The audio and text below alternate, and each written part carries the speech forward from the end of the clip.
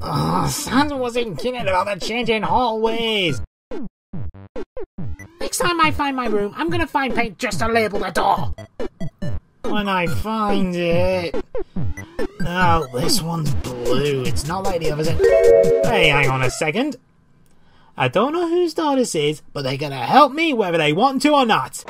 Ding dong, editor calling. I can't find my room and.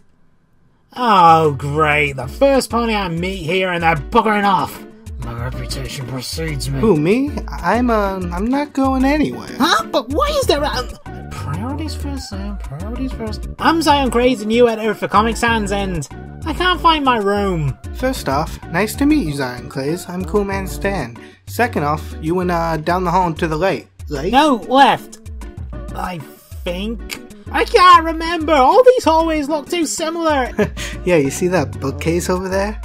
You just walk straight through it or go straight into your room. Are you sure? Well, it's either your room or the kitchen. Either way, though, you're gonna have a good time. Okay then. Hopefully I'll find some paint somewhere, but I guess my- Ah! Son of a donkey from first! What the hell is in there? Uh, just, you know, like, um, music stuff. Yeah, music stuff. Music stuff. Right. I know what I felt and it wasn't a bloody trombone. Oh man, I gotta go. I'm gonna be late.